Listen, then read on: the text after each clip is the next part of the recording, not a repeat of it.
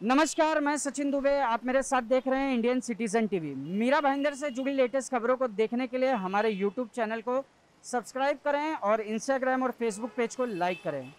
सृष्टि complex के sector एक में एक 19 वर्ष के लड़के को उसके ही बिल्डिंग के दो वॉचमैनों ने एक धारदार हथियार से उसकी हत्या कर दी थी। इस मामले को काशी मीरा पुलिस चौकी के अंतर्गत दर्ज किया गया था। काशी मीरा की पुलिस की टीम ने इसमें से उन दो आरोपियों में से एक आरोपी को तीन दिन के बाद गिरफ़्तार कर लिया था, लेकिन जो दूसरा आरोपी था, उसकी जानकारी काशी मीरा की पुलिस की टीम के पास सही न होने के कारण उस दूसरे आरोपी को ढूँढने में काशी मीरा पुलिस की टीम को थोड़ा वक्त लगा। लेकिन आज काशी मीरा की पुलिस की टीम ने उस दूसरे आरोपी को भी गिरफ़्तार कर लिया है। आइए जानते हैं इस पर काशी मीरा की पुलिस की टीम का क्या कहना है। जो दो सिक्योरिटी गार्ड थे, उनका और वो जो, वही सोसाइटी में रहने वाला लड़का, उनका कुछ आपस में झगड़ा हो रहा था। वो भी रात को थोड़ा लेट वेट आता था तो उसकी वजह से उनसे दोनों में अनबन थी। तो जिस दिन इंसिडेंस हुआ, उस दिन वो लड़का रात को सवा बारह के आसपास वो सोसाइटी में आता है और फिर वापस जाके सिक्योरिटी केबिन के उधर जाके वो बैठता है। तो वहाँ जो सिक्योरिटी गार्ड थे दोनों उसमें से जो अमित तिवारी करके जो सिक्योरिटी का नाम बताया जाता था, उसने सीधा उसके ऊपर चाकू से हमला कर दिया और एक चेस्ट में और फिर पेट में ऐसा चाकू डाल दिया तो उसका जो सब कुछ वो बाहर निकलने आया था तो भाग रहा था। तो उधर जाके वो गिर गया। तो सोसाइटी के लोग जैसे नीचे आ गए, तब तक ये दोनों भी सिक्योरिटी गार्ड थे, वहाँ से वो भाग गए थे। उसमें से एक पहला जो गार्ड था, उसको तीन दिन के बाद तीन चार दिन के बाद सुभाष पांडे को हमने क्राइम ब्रांच के मदद से अरेस्ट किया था। उसको अरेस्ट करके उसकी कस्टडी में था। तो उसके इंट्रोगेशन से इसका जो दूसरा सिक्योरिटी गार्ड था, उसका कोई डिटेल्स सिक्योरिटी एजेंसी पास भी नहीं था और सोसाइटी के पास भी नहीं था। तो उसका नाम अमित तिवारी बताया गया है एफआईआर में। लेकिन उसका कोई मोबाइल नंबर नहीं था, कुछ भी नहीं था। तो इस हिसाब से उसको ऐसा इंट्रोगेशन करके उसने बताया था कि मेरे को एक जो सुभाष पांडे था उसने बताया कि भाई मेरे को एक कॉल आया था अ, ये जो अमित के नाम से तो वो नंबर उसको याद नहीं था तो हमने वो सब टेक्निकल एविडेंस सब कलेक्ट करके ये नंबर को ढूंढा और फिर हमको एक जो मुंबई का एड्रेस मिला था उस हिसाब से हमने वो टीम भेज दी और वहाँ ये इधर से नौकरी छोड़ के फिर उधर काम पे लग गया था। तो उसको लाया तो उसका असली नाम अमित कुमार सौरभ है वो ना कि तिवारी। तो हमने उसको अरेस्ट कर लिया है और जो भी कानून की कार्रवाई है, उसको 8 जून तक पुलिस कस्टडी रिमांड अभी हमारे पास चल रही है। दोनों आरोपी पुलिस कस्टडी में दोनों को अरेस्ट कर लिया है।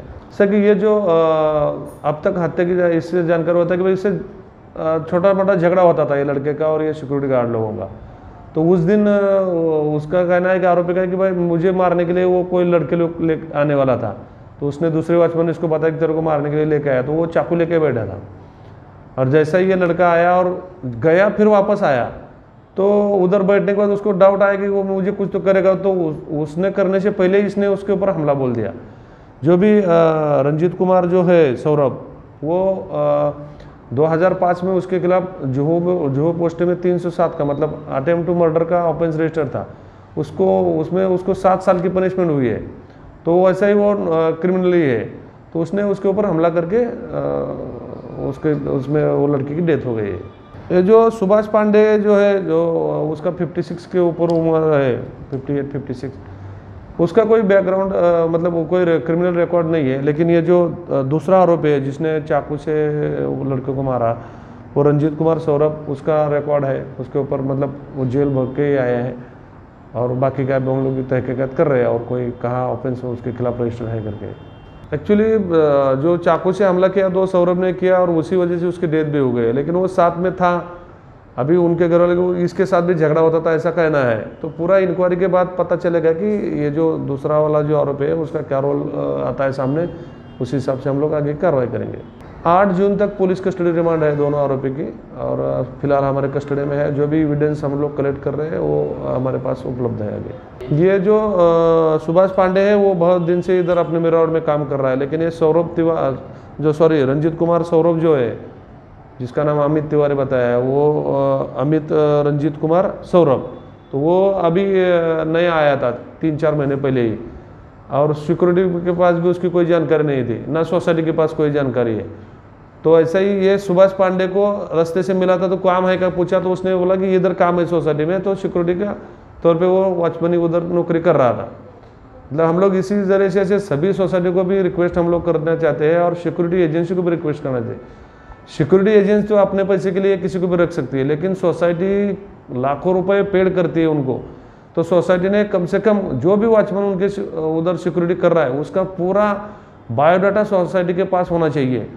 मोबाइल नंबर के साथ, आधार कार्ड, सभी जो भी डॉक्यूमेंट उनके हैं तो वो जेरोक्स सेट लगा के रखना चाहिए। और सभी सोसाइटी को मैं आपके ज़रिए निवेदन करता हूँ कि जो भी वॉचमैन आपके पास काम कर रहे हैं, हालाँकि वॉचमैन क्या डेली चेंज नहीं होते, वही रिपीटेशन है तो उनका सब डाटा सिक्योरिटी एजेंसी के पास होता है, नहीं होता है, वो बिना उसके हिजक के आप अपने पास रखो।